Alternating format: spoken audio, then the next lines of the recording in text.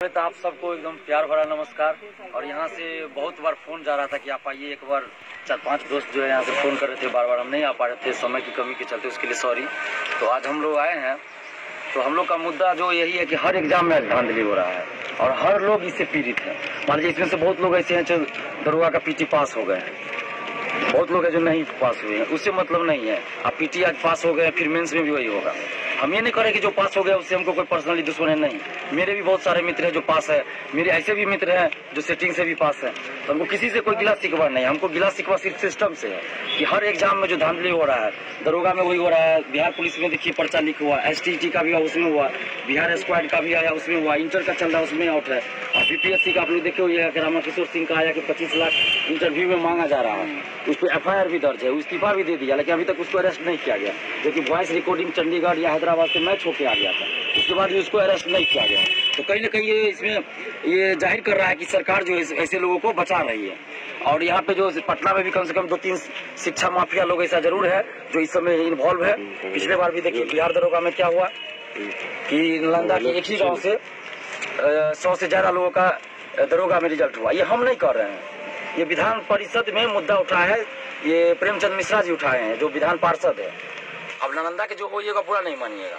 क्योंकि वहाँ के दो तीन सेटर है जो कि एक राज्यसभा सांसद है जो कि करीबी है नीतीश जी के उनके मार्फत ये सब हो रहा है। और भी ऐसे लोग हैं जो सिटी में अभी आपको बुला बता रहे हैं हम इधर लखीसराय का एक कोई है सिंह करके हम नाम नहीं बताएँगे। आ, उन, उनके सेटिंग से पंद्रह बीस लड़कों का रिज़ल्ट हुआ है। ठीक है लड़का लोग हमको बता रहे हैं हम नहीं जान क्या सच्चाई है। लेकिन लोग हमको फ़ोन करके बता रहे हैं कैसे ऐसा बात है मेरा नाम नहीं बोलिएगा दबंग लोग हैं हमको। कैसे हम ही नहीं बोल सकते हैं। तो ऐसा ऐसा बात है मेरे पास एक रिकॉर्डिंग आया है वही लोग भेजे हैं इसमें ये बात हो रहा है बीस लाख का बात किया जा रहा है। कि बीस लाख दो, उसमें सब कुछ हो जाएगा, तुमको फ़िज़िकल में जाके खाली खड़ा होना है, तुमको साइड करके पास करा दिया जाएगा। अब इसमें क्या सच्चाई है तो जाँच के बाद पता चलेगा। तो हम तो यही चाहते हैं कि सरकार से ना, कि सीबीआई जाँच और ये एस आई फैसिलिटी हमको नहीं चाहिए। बिहार एस में एस किया, अपना लोग को बचा लिया।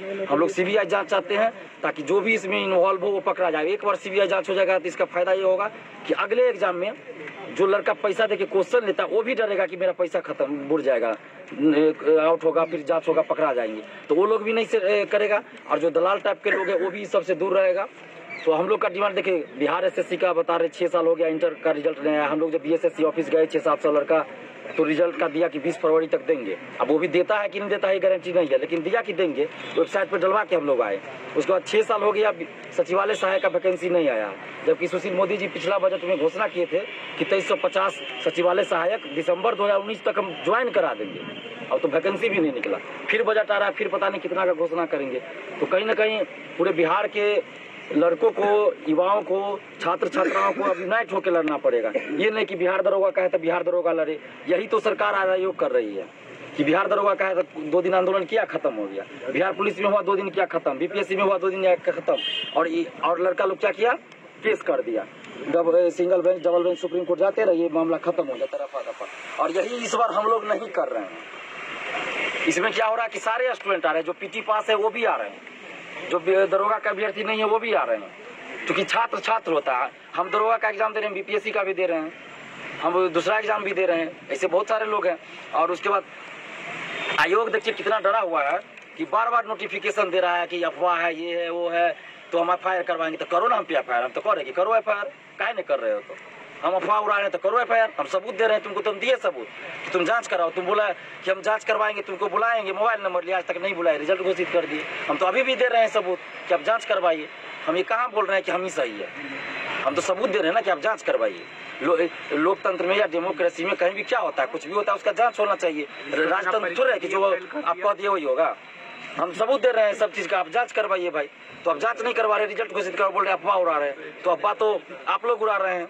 आयोग उड़ा रहा है, सुशील मोदी जी उड़ा रहे हैं कि हम इतना वैकेंसी देंगे, नहीं दे रहे हैं। आयोग बोल रहा है बार बार की अफवाह है और हाई कोर्ट के दिशा निर्देशन में ये बहाली हो रहा है, जबकि गलत है। हाई कोर्ट के दिशा निर्देशन में ये बहाली नहीं हो रही है। हाई कोर्ट के आदेश पे बहाली हो रही है। दोनों में फ़र्क होता है। दिशा निर्देशन का मतलब और उसके इसमें का मतलब हुआ कि पूरा देख रेख हाई कोर्ट कर रहा है।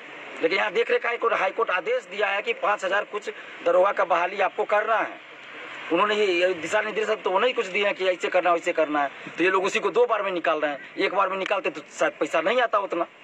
चुनावी फंड कैसे आता? दो बार में उसी को निकाल रहे हैं। तो अफवाह फैला रहे हैं वो लोग कि इतना इतना ये वो हाई कोर्ट सुप्रीम कोर्ट कर रहे हैं। हाई कोर्ट तो कहीं नहीं कहा कि आप धांधली कर दीजिए स्टूडेंट रोड पे आ रहा था म, न्याय के लिए मांग कर रहा है जाँच के लिए मांग कर रहा था आप लाठी बरसाइए। आप लोग तो लाठी चला रहे हैं। तो हम लोग लाठी या डंडा से अब डरने वाले नहीं हैं। आप देख लीजिए कितना कितना लोग आप लोग भी कुछ उम्मीद से ही ना आप लोग खड़े हैं। तुम तो काहे खड़े रहते? आज पूरा जिला में स्टूडेंट यूनाइट हो रहा है। और तेरह फरवरी को हम लोग फिर से प्रत्येक जिला में सड़क पे उतरेंगे। तो ये सिन्हा लाइब्रेरी जो पटना में है, जो बिहार बोर्ड ऑफ़िस के निकट स्थित है, हम आप लोग को बहुत बहुत धन्यवाद देते कि आप हमको यहाँ बुलाए। और उम्मीद करते हैं कि उस दिन भी आप लोग बहुत आए थे। हम इससे पहले यहाँ नहीं आ पाए, उसके लिए सॉरी और तेरह फरवरी को आप लोग जो है सो पटना साइंस कॉलेज एकदम दस बजे आइए। और उसके साथ साथ ये भी कीजिए कि फेसबुक सोशल साइट ट्विटर जो भी हो, उसमें आप लोग खुद खूब लिखिए, दोस्तों को भी लिखिए कि लिखे वो लोग और जितना भी बड़ा बड़ा लीडर है, पक्ष हो, विपक्ष हो, मुख्यमंत्री, प्रधानमंत्री गृह मंत्री बड़ा बड़ा चैनल, सबको टैग करके कीजिए, ताकि ये बात सब तक जाए। चला गया, सब तक है, लेकिन और इसको फैलाना है। और नीतीश जी से भी हम लोग यही आग्रह करेंगे कि हमारी लड़ाई किसी नेता से नहीं है, किसी सरकार से नहीं है। हमारी लड़ाई सिस्टम से है, गलत हो रहा है। अगर नीतीश जी की जगह आज कोई और भी मुख्यमंत्री होता और ये गलत होता तो हम लोग उसका भी विरोध करते। तो चूँकि आयोग इसमें क्या कर सकता है? आयोग पे हम लोग क्या कहेंगे? आयोग तो सरकार के अधीन है। मान लीजिए एक बीपीएसएससी आयोग के अंदर की बात होती तब ना। बीएसएससी में भी वही हाल है। बीपीएससी में भी वही हाल है। बिहार पुलिस वाला जो आयोग है, उसमें भी यही हाल है। तो हमारी तो सीधी बात अब सरकार से होगी कि सरकार हम लोग की डिमांड को सुने और सीबीआई जाँच करवाए। अगर गलत निकलता है सीबीआई जाँच हम तो इतना कर रहे हैं। सीबीआई जाँच करवाइए। अगर कोई गड़बड़ी नहीं निकलती है तो हमसे आप, आप रिपीट कोर्ट से करवा लीजिए। शपथ पत्र हम दायर करने के लिए तैयार हैं कि कोई भी आप वैकेंसी निकालिएगा बीपीएसएससी से हम हमको उस फॉर्म को भरने से बैन कर दीजिए। हमको बैंड लगा दीजिए कि हम फॉर्म नहीं भर सकते। हम इतना करने के लिए तैयार हैं। और भी लड़के लोग हैं जो इस तरह के करने के लिए तैयार है। तो इसमें क्या आपत्ति आपको हो रहा है? अरे हम लोग तो न्याय चाह रहे हैं कि आप जाँच करवाए। हम भी चाहते हैं साफ़ सुथरा एग्ज़ाम हो। बिहार का बदनामी हो रहा है कि हर एग्ज़ाम में क्वेश्चन आउट हो रहा है। बाहर जाते हैं तो बोलता है बिहार से हो, बिहार में तो सारा एग्ज़ाम में क्वेश्चन आउट हो जाता है। तो हम लोग को शर्म झेलना पड़ता है, शर्मिंदगी झेलनी पड़ती है। तो हम लोग ये नहीं चाहते हैं। इसलिए आप सबसे यही अपील कर रहे हैं कि तेरह फरवरी को जो है दस बजे एकदम पटना साइंस कॉलेज आइए हम लोग शांतिपूर्वक आंदोलन करेंगे। हम लोग किसी तरह का हिंसा नहीं करेंगे, कोई उकसाए भी। तो उस सब पे ध्यान नहीं देना। अगर जो इस तरह का करता है, कि तोड़फोड़ या फिर जेलाबाजी, पत्थरबाजी तो उसको तुरंत पकड़ के पुलिस के हवाले कर देना है। ये भी ध्यान रखिए। क्योंकि भीड़ में होता है, अब हज़ार लोग पाँच हज़ार लोग हैं, उसमें किसको आप पहचानिएगा? कोई दुकानदार भी घुस जाएगा लोकल भी उपद्रव भी घुस जाएगा। हो सकता है जो सेटर सब है वही दो चार को पैसा दे के भेज दे कि सबको बदनाम करो। तो वैसे वैसे लोग को अगर कोई इस तरह का हरकत कर रहा है तो उसको पकड़ के तुरंत पुलिस पुलिस के हवाले हम लोग को कर देना है। क्योंकि हम लोग पढ़ने लिखने वाले लोग हैं और हम लोग शांति प्रिय लोग हैं हम लोग अपनी मांग को सरकार के सामने रख रहे हैं। और हम लोग उपद्रव नहीं करना चाहते हम लोग हिंसा एकदम नहीं करना चाहते एकदम अहिंसक। पुलिस अगर लाठी भी मारती है तो हम लोग को बैठे रहना है मार खा लेना है बस। कितना मारेगा? मारते रहो हम लोग मार सह लेंगे। लेकिन हम लोग की तरफ़ से एक थप्पड़ भी नहीं उठाना है, एक ढेला भी नहीं उठाना है। बस यही विनती आप लोगों से है। और तेरह फरवरी को आइए सब लोग, और सोचिएगा इस बात को, पढ़ाई भी जारी रखना है। बहुत लोग इस तरह का बाप फैला रहे हैं कि ये सब करके पढ़ाई डिस्टर्ब हो रहा है। तो मैं ये कहना चाह रहा हूँ, ये सबसे पढ़ाई डिस्टर्ब नहीं होता। लोकतंत्र में अगर सड़कें सुनी हो जाए ना तो संसद आवारा हो जाती है, नेता आवारा हो जाता है, तनाशा हो जाता है। तो जब भी गलत होगा, हम लोग सड़क पे उतरेंगे, और इससे कोई पढ़ाई डिस्टर्ब नहीं होता है। आपको बता रहे हैं चौदह तारीख को वैलेंटाइन डे होगा। कितना लड़का लड़की रहेगा देखिएगा जून में उस, उसमें समय बर्बाद नहीं होगा। सपना चौधरी सनी लियोन का प्रोग्राम हो जाए गांधी मैदान में तो पूरा गांधी मैदान भर जाएगा। वो होली हो ईद हो दीपावली हो छठ हो उसमें छुट्टी होता है कि नहीं? सरस्वती पूजा हो एक सप्ताह बंद होता है तो वो वो उसमें छुट्टी होता है। हम ये नहीं कर रहे हैं लेकिन एक दिन अगर आंदोलन में दो घंटा रहा है तो इससे समय बर्बाद हो जा रहा है क्या नहीं? कुछ नहीं, आप लोग पढ़ते रहिए, हम ये नहीं करें। पढ़ाई जारी रखिए। जब आंदोलन हो, दो घंटा समय दीजिए। मान लीजिए हम लोग इसमें थोड़ा ज़्यादा इन्वॉल्व होता हम लोग को ज़्यादा टाइम लग रहा है। लेकिन सब लोगों को तो नहीं लग रहा है ना? सब लोग सिर्फ़ जिस दिन आंदोलन उस दिन आइए और पढ़ाई भी करते रहिए। जिन लोग का पीटी हो गया है, नहीं हुआ है, सब लोग पढ़ाई करते रहिए। अदर एग्ज़ाम भी है, बहुत सारा है। ये नहीं है कि पढ़ाई नहीं, पढ़ाई करते रहिए। पढ़ाई के साथ साथ ये लड़ाई भी जारी है। यानी कि पढ़ाई और लड़ाई साथ साथ और सरकार सरकार तक ये संदेश देना, जाना चाहिए कि हम लोग पढ़ाई के साथ साथ अब लड़ाई भी जारी रखेंगे और पीछे हम लोग नहीं हटेंगे। क्योंकि एक बात देखिए, महिला आरक्षण बिहार से बाहर की महिला को दिया जा रहा है। जब बिहार में बेरोजगारी है तो बिहार की महिला को क्यों आप आरक्षण दे रहे हैं भाई? OBC S C S T या ईडब्ल्यू एस या अदर जो आरक्षण मिलता है, उसमें तो बिहार से बाहर के लोग को आप आरक्षण नहीं दे रहे हैं। फिर बिहार की म- ये महिला आरक्षण में बिहार से बाहर की महिला को क्यों आरक्षण दे रहे? पिछला दरोगा वाला में भी क्या हुआ? बिहार से बाहर की महिला को खास यूपी की महिला को आरक्षण दिया गया, जिसका खामियाजा यहाँ की लड़कियों को भुगतना पड़ा। फ़िज़िकल क्वालिफाई फिर भी उन लोग का जॉब नहीं हुआ। और एक काम ये भी करता है आयोग, कि जब भी कोई रिज़ल्ट आता है एग्ज़ाम होता है तो उसके आसपास कोई एग्ज़ाम बड़ा होता है या कोई पर्व त्योहार होता है। बीपीएससी तिरसठवीं का जो फाइनल रिज़ल्ट आया, उसमें गड़बड़ी हुआ था तो क्या क्या पैंसठवीं पीटी का जब पैंसठवीं का पीटी का एग्ज़ाम होना था और दुर्गा पूजा था, उस समय रिज़ल्ट दिया तिरसठवीं फाइनल ताकि लड़का लोग एग्ज़ाम में बिज़ी रहे, आंदोलन न करे। दरोगा का एग्ज़ाम हुआ बाईस दिसंबर। पच्चीस दिसंबर क्रिसमस एक जनवरी, छुट्टी का दिन कोचिंग संस्थान बंद, सब अपने अपने घर, ताकि लोग यूनाइट न हो। और बिहार पुलिस का एग्ज़ाम हुआ, बीच में जब पूरा हंगामा हुआ तो बीस बीस बीस जनवरी वाला कैंसिल कर दिया, और दरोगा का रिज़ल्ट उसी समय देता है, ताकि लड़का लोग यूनाइट न हो पाए। अभी भी देखिए, ये आंदोलन को कमज़ोर करने के लिए बार बार दे रहा है कि एग्ज़ाम लेंगे तो नया वैकेंसी देंगे तो ये करेंगे, वो कर... तो ये सब, ये सबसे अब लोग घबराने की बात नहीं है, और स्टूडेंट गुमराह नहीं हो रहा है। अब स्टूडेंट इसके चलते और यूनाइट हो रहा है कि आप लोग बहुत बेवकूफ़ बना लिए सरकार और आयोग की मिली भगत से। तो हम लोग सिर्फ़ यही चाहते हैं कि प्लीज़ नीतीश कुमार जी आप ध्यान दीजिए। एक बार आप सीबीआई जाँच करवा दीजिए हम लोग का यही डिमांड है। और हम लोग और कुछ नहीं चाहते सीबीआई जाँच हो हम इतना ही चाहते सीबीआई जाँच होगा सही होगा तो सही रहे आयोग। हम लोग गलत है तो हम लोग माफ़ी भी मांग लेंगे सार्वजनिक रूप जैसे कि बहुत सारे स्टूडेंट ये भी सोचते हैं कि जैसे ये बिहार दरोगा का एग्ज़ाम होगा और जो भी अपकमिंग वैकेंसी है तो सोचता है कि उसमें धांधली नहीं होगा। लेकिन जो कि उन लोग का सोचना जो है, ये गलत है।